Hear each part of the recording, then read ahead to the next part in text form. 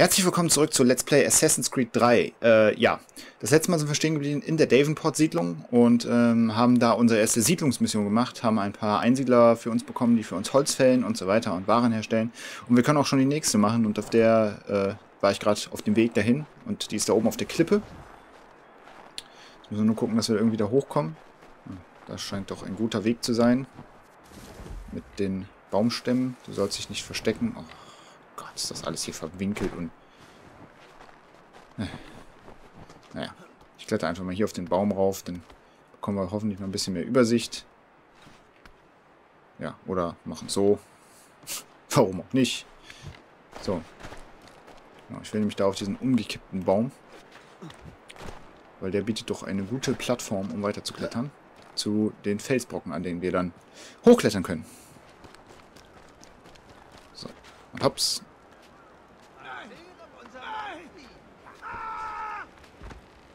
Wow. Oh, okay. Was um alles in der Welt geht denn hier vor? Der hat anscheinend ein paar Probleme. Dann wollen wir ihm mal helfen. Wow. Okay, geht direkt so los. Bam. Zack. Okay, dann machen wir die schnell fertig. Au. Aua. Ist ja gut. Verdammt. Okay, die sind ein bisschen stärker. Aber das macht ja nichts. Oh Gott, die haben auch so dicke Äxte dabei. Scheiße, ich hab's, ich hab's schon fast gedacht, ey. Dass ich da runterfalle. Ah. Ja, toll. Okay. Der dumme Idiot ist aber hinterhergesprungen. Und direkt mitgestorben. Jetzt müssen wir nur... Ey, der ist so dumm, der Connor manchmal. Ah, jetzt müssen wir noch da hoch, um äh, ihn zu retten. Deswegen beeilen wir uns, glaube ich, mal ein bisschen. Ja, ja, ja. Hör auf zu, zu winseln. Ich mach das schon. Einen Moment. Äh. So. Okay.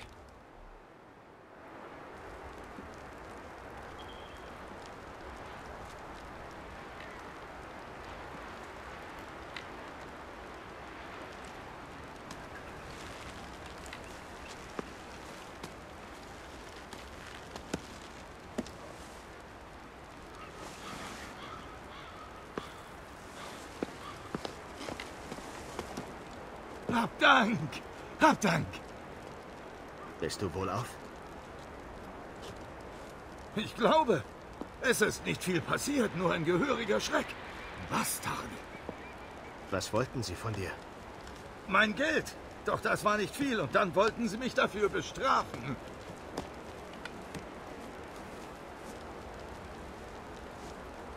Eigentlich dumm. Allein schon mein Werkzeug ist sehr viel wert für den richtigen Mann. Wie auch immer. Ich mache mich jetzt auf den Weg.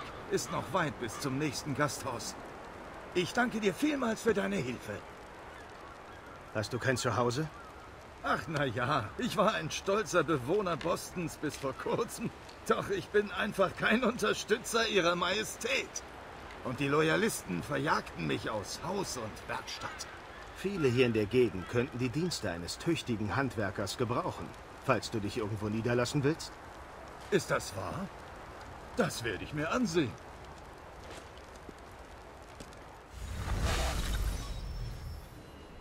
Yay, Lance kann neue Gegenstände herstellen, wie zum Beispiel Truhen und Fässer. Cool, dann haben wir den Lance für uns gewonnen. Unsere Siedlung wächst. Des Schnitzers Waffen. Okay, das war die Mission. Ich glaube, wenn sich jetzt keine neue Siedlermission aufgetan hat, dann können wir auch zur nächsten Hauptmission gehen. Äh, gucken wir doch mal auf die Karte. Äh, nee, sieht nicht so aus. Gut, dann können wir ja quasi dahin gehen. Können wir hier eigentlich Schnellreise machen oder sowas? Nee, schade. Dann gehen wir halt dahin. Äh, wobei das ein relativ weiter Weg wird, aber gut. Das kriegen wir noch hin.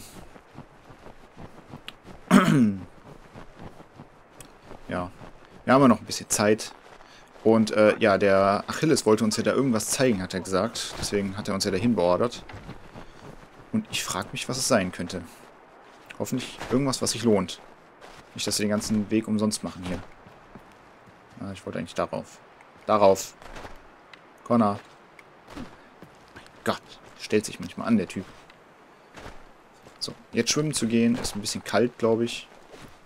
Deswegen versuche ich mal, auf den Baumstämmen zu bleiben. Yep. Hat doch gut geklappt. Wenn es nur immer so einfach wäre. So, okay, noch 200 Meter. Knapp. Oh, ja, jetzt kommt hier der große See. Wir sollen da drüben hin. Hm, da könnten wir theoretisch hin schwimmen. Ist zwar kalt, aber spart uns ein wenig... Nee. Wow, das hätte fast schief gehen können. Aber noch so ein kleiner Vorsprung. Naja. Äh. Wird ja warm dadurch, dass wir schwimmen. Hm. Bewegung hält ja einen warm. Hm. Wasser sieht aber auch nicht mehr ganz so sauber aus. Naja. Das kommt alles noch. Wir werden sogar, ja, wir reinigen sogar das Wasser dann dadurch, dass wir die Siedlung aufbauen. Nee, Quatsch. Aber ich könnte es mir vorstellen. Oh, wir können wieder stehen. Sehr schön. Alle halten für eine Legende, aber ich hab ihn. Kidd hat ein Geheimnis, ganz klar.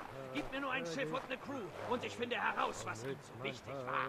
Einst traf ich ihn, den Captain. Er war sieben Fuß groß, ungelogen. Das sag ich dir. Beine wie Bäume und Arme wie ein Schmied. Hat mir fast die Hand vom Leib geschüttelt. Okay, irgendjemand labert da über irgendeinen Captain.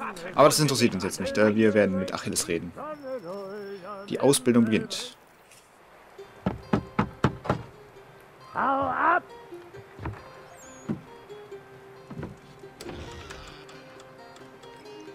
Sagte, hau ab, Bursche! Sprichst du des Königs Sprache nicht? Hab dich nicht gesehen, alter Mann. Hätte glatt noch klar Schiff gemacht, hätte ich gewusst, dass du kommst. Der Bursche heißt Connor. Er setzt dir wieder alles instand. Instand? Instand? Verzeiht meine Manieren.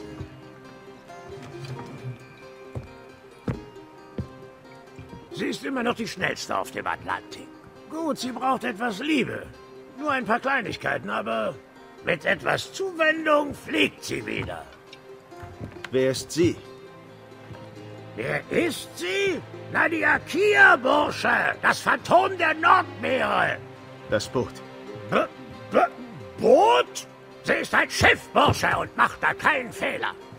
Ich dachte, er soll hier alles instand setzen. Ich sage, der ist das grünste Greenhorn im Grenzland. Connor, komm zu mir zum Gutshaus, sobald du hier fertig bist. Du sagtest, es braucht etwas Pflege. Kannst du das? Sie braucht etwas Pflege. Ein Schiff ist eine Sie, Bursche. Und ja, ich kann sie herrichten, aber es mangelt mir an Material. Für den Anfang brauche ich vor allem gutes Bauholz. Das kann ich beschaffen. Wie lange bis es sie in See stechen kann? Besorge mir nur das Holz, Bursche. Ich besorge die Crew. Okay, aber dann sollten wir dich lieber nicht äh, an das Steuer lassen. In deinem Zustand. Naja, oh, toll. Robert Faulkner, gut, über den können wir noch was lesen. Und jetzt muss ich wieder auf die komplett andere Seite. Naja, äh, Robert Faulkner, geboren, äh, geboren 1715. Robert Faulkner ist wahrscheinlich einer der meistbeschriebenen Mitglieder der Assassinenmarine, obwohl man ihn nie offiziell zum ersten Offizier ernannte. Robert Faulkner gehört in seiner Familie zur vierten Generation Seemänner. Ich bin froh, dass ich das nicht laut gesagt habe, aber er war der Erste in der Familie, der für die Assassinen rekrutiert wurde. Oh Gott. Er begann in der Royal Navy, aber als seine Karriere signierte, äh, nee, stagnierte, teilweise weil er sich keine Offizierspatente kaufen konnte, trat er aus, um für die Vereinigte Handelskompanie zu arbeiten. 1753 verschwindet Faulkner aus den historischen Aufzeichnungen. Man nahm an, er sei tot, aber das liegt daran, dass er den Assassinen als erster Offizier des Flaggschiffs Aquila beigetreten ist. Faulkner war als Seemann äh, sehr, beliebt, ihn zu, äh, sehr beliebt. Ihn zu rekrutieren war ein Volltreffer für die Bruderschaft. Er hatte den Ruf, eine disziplinierte Crew zu führen. Außerdem hatte er ein fast verblüffendes Talent, Ärger zu vermeiden. Und man darf die Wettervorhersage nicht vergessen. Ob aus jahrelanger Erfahrung oder durch eine andere geheimnisvolle Fähigkeit, weil ich total an so etwas glaube, wusste Faulkner, ob eine stürmische oder ruhige See auf ihn wartete und nutzte das zu seinem Vorteil. Stell dir das vor, ein natürlicher Wetterfrosch, der das Wetter genau vorhersagen könnte. Die Welt würde seinesgleichen nie wiedersehen. Faulkner diente an Bord der Aquila, bis sie 1768 fast zerstört wurde und zögerte immer, wenn man ihm den Kapitänsposten anbot. Spoiler! Naja. Äh, er sagte nie warum, aber seine Liebe zu dem Schiff war ganz rührend. Er vertraut, äh, verteute sie an ihrem Ankerplatz in Boston, obwohl es Zweifel gab, dass sie je wieder seetüchtig sein würde. Faulkner hätte an Bord eines anderen Schiffs wieder zur See fahren können, aber tat es nicht. Er blieb, immer, äh, blieb bei der immer mehr verfallenen Aquila und wandte sich dem Alkohol zu. Zu dieser Zeit ist er Connor begegnet. Achso, also war das das, was davor passiert. Gut, dann wissen wir also noch nicht, was mit dem Schiff passiert, wenn wir es wieder schaffen, herzurichten. Aber wie gesagt, das müssen wir erstmal schaffen. Und dazu müssen wir Holz äh, holen. Aber vorher müssen wir jetzt erstmal ähm, ja, zurück zu Achilles, der wahrscheinlich wieder im Herrenhaus wartet. Ich frage mich, wie, wie schnell er hingekommen ist, der alte Mann. Naja, wir laufen einfach. Was soll's. Das kriegen wir schon hin. Das macht er bestimmt extra. Das gehört bestimmt noch zum Training. Fitnesstraining. Deswegen hat er uns auch in Boston alleine gelassen, sodass wir alleine nach Hause finden mussten und uns durch die Wildnis schlagen durften und so weiter. Na gut, wir sind ja eigentlich mit dem Schiff gefahren, von daher war das ja noch human. Oh. So. Er ist natürlich im Haus. Das hätte ich auch anders erwartet.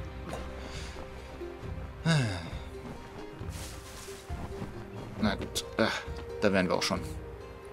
Dann gehen wir mal rein. So, Achilles, bist du da? Ah, da bist du ja. Ich muss dir was zeigen. Komm, sieh es dir an. Was ist das? Ein Journal. Es hilft uns, die Geschäfte unserer Siedlung zu verwalten. Und das hier? Ah, das ist Jahre her. Vor dem schleichenden Fieber. Vor den Templern. Bevor alles zusammenbrach. Aber das ist Vergangenheit. Wir konzentrieren uns auf das, was vor uns liegt. Nimm das Journal und ich zeig dir, wie alles funktioniert. Ja, genau. Jetzt kommen wir nämlich zu dem, was ich erzählt habe, dieses komische Handelssystem, was kein Mensch braucht. Äh, aber wir können es ja versuchen zu lernen. Ich werde es trotzdem nicht benutzen. Im Bereich Lager können Sie Gegenstände von den Bewohnern der Siedlung kaufen. Außerdem werden alle Ressourcen in ihrem Besitz angezeigt. Godfrey und Harry haben Eichenholz zur Verfügung, das sie ihnen abkaufen können. Ja, machen wir das mal. So. Dann kaufe ich halt dreimal Eichenholz. Bitteschön. Das Lager enthält nun Eichenholz. Äh, und jetzt das Handelsmenü. Okay, da. Das Eichenholz kann über einen Konvoi an Händler verkauft werden. Die Waren müssen dem Konvoi zugewiesen werden. Ja, jetzt tun wir nämlich das Eichenholz da rein, suchen uns noch einen Händler aus. Wir haben aber nur einen. Zack. Und äh, müssen Dreieck drücken, um den Konvoi zu einem Händler zu schicken. Und müssen auf Risiko und sowas. Okay, er hat nur 35%, das heißt, der dürfte eigentlich durchkommen, ohne äh, ausgeraubt zu werden oder sonst was. So, versenden wir ihn mal. So, und sowas mache ich jetzt nie wieder. Jetzt habt ihr das einmal gesehen. Das reicht.